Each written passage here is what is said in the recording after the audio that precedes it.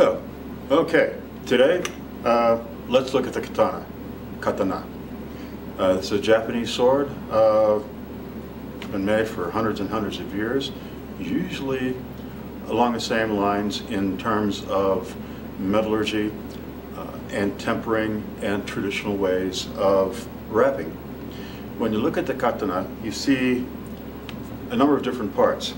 The first part, the handle, called the tsuka. The tsuka is made up of several parts. First is a layer of wood, which is hollowed out and brought back together, slid over the tang of the sword. In the very front, you'll have what's called the, the fuchin kashira. The fuchin kashira are the end pieces of the handle, here and here. When that is put on, then you wrap the handle with uncured, untanned ray skin. It's very, very stiff, extremely strong, and very hard to cut without ruining your knife edge, which it will do in an instant. You soak the ray skin in water until it's very soft, then you wrap it, bind it, wait for it to uh, harden around the handle itself so it's nice and firm. Once that's done, then you take a cord. In this case, I, uh, I wrap this myself. I use a traditional silk cord, and I wrap it using a double turn, not a twist. A double twist leaves raised edges. A double fold or turn leaves flat edges, making the handle much more comfortable to use. Now, depending on the period, most periods used the menuki, the ornaments, as palm swells. During the Edo period, they're used as finger swells. They were reversed. But they're used to help position the hand and give a little bit of feeling of secure comfort. You start here at the very base, you wrap and wrap and wrap, making these perfect little diamonds, hopefully, if you do it right. And if you don't do it right, you'll notice because it'll look uneven and loose. We want this as tight as possible. I use a vise and several clamps to keep these wrapped as I work my way up the handle. At the end of this, you have the end knot, which is an art in itself. As a matter of fact, this whole thing takes quite a bit of artwork and practice to get it done right. If you don't do it right, it falls apart or it looks really bad. This is a rather short handle. I have one that's very short, one that's about this much longer, used for uh, very heavy cutting. This is called the tsuba, the guard. In, on each side of the tsuba, there are little brass flat plates here and here, used as spacers. These spacers help hold this in place nice and tight. Then you have this collar here, the habaki. And then as you take the sword out, you'll see that it has or doesn't have either a full line blood groove called a bohi or a temper line along the edge of the blade. The way you can tell a temper line that's fake from one that's real is that the temper line on a real sword is very uneven. It's not as regular as clockwork. It varies all the way up the blade. This is made with a clay process of pounding and pulverizing rice, uh, charcoal rice, until it becomes a very fine, fine, fine gray ash. At that point, it's layered along the blade in a particular pattern. What that does when this is plunged back into the heat again is it helps to even the temperature along the edge of the blade so that the edge is actually harder than the rest of the blade. That line that's made, that wavy line is called a hamon. And if it's very regular and looks like it's made by a machine, then it was, and it's fake. If it's very uneven, and looks almost random, you can be assured that it's the real thing. And I might be able to get a close-up of this here. So as we look closely, we might just be able to see the hamon on the blade. This isn't the best lighting in the world, but as you see as I pull this blade along, you'll see that line. Another thing about the sword is its curve. Its curve is usually brought about by the tempering process. It's not on purpose. It's a, it's a function or uh, a result of tempering.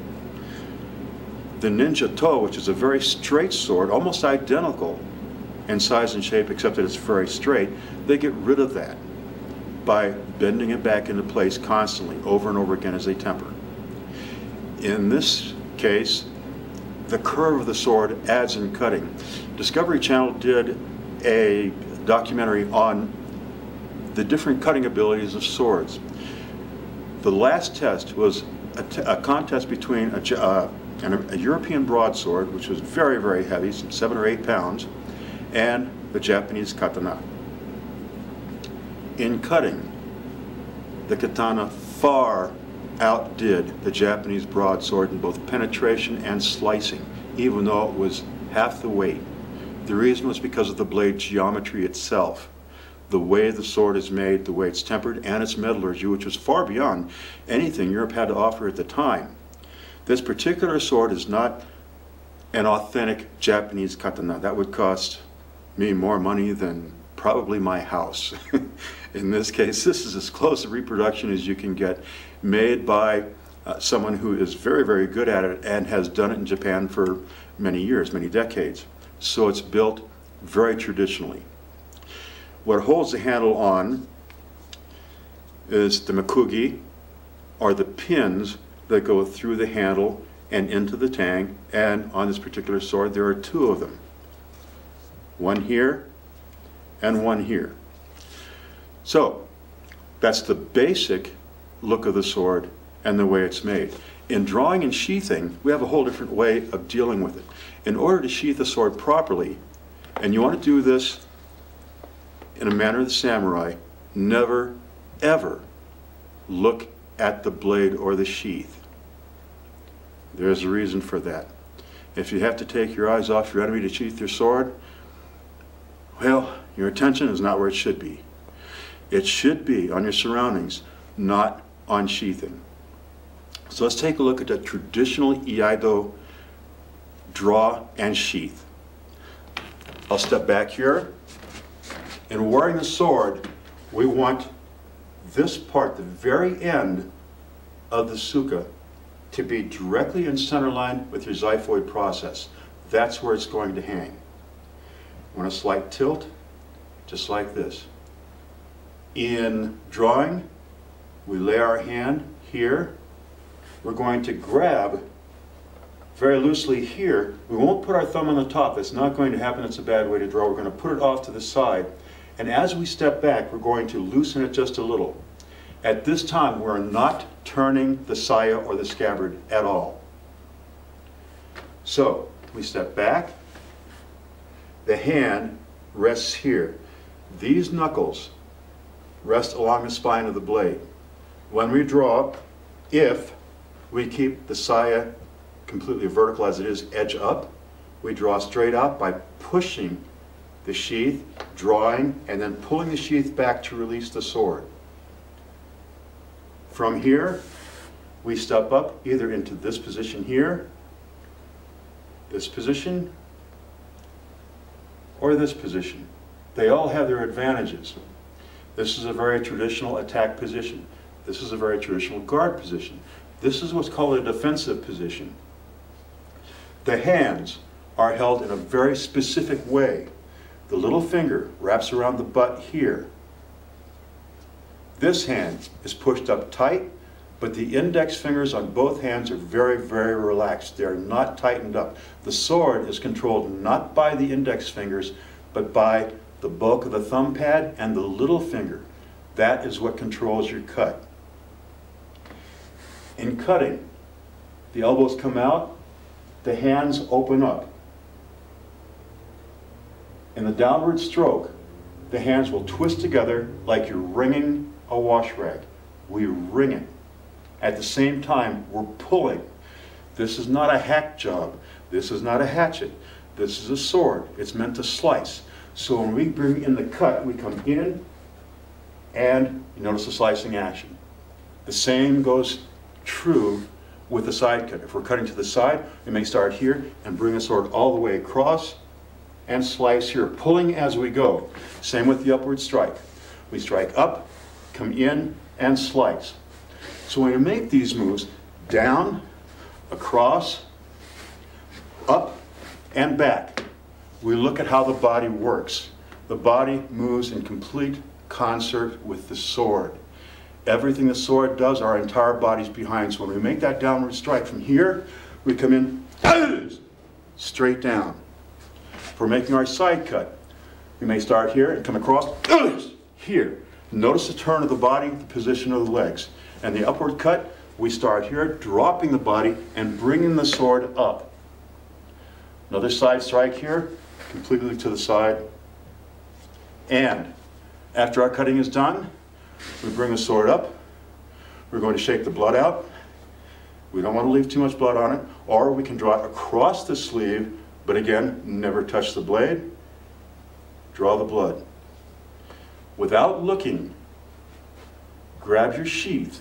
Use your hand to keep the blade from dragging across the saya. And if your angles are proper, you won't be driving straight across the same angle as the saya. You'll be doing this at about an angle like this. And what you're going to do is you're going to bring it until you hear the click. Click. Bring it forward. Bring the saya to the sword. Bring the whole thing back. And secure it. The saya is a place of peace. Once it's drawn, in tradition, it's supposed to draw blood. In this case, I really don't have enough to spare, so I'm going to omit the blood drawing. But this is a very, very sharp sword. It's used specifically to cut.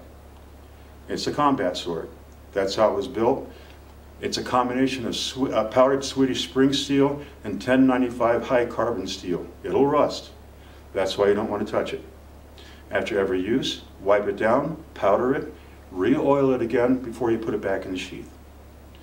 So, this is a little breakdown on what the katana really is, how it's used, and how it works. Thank you.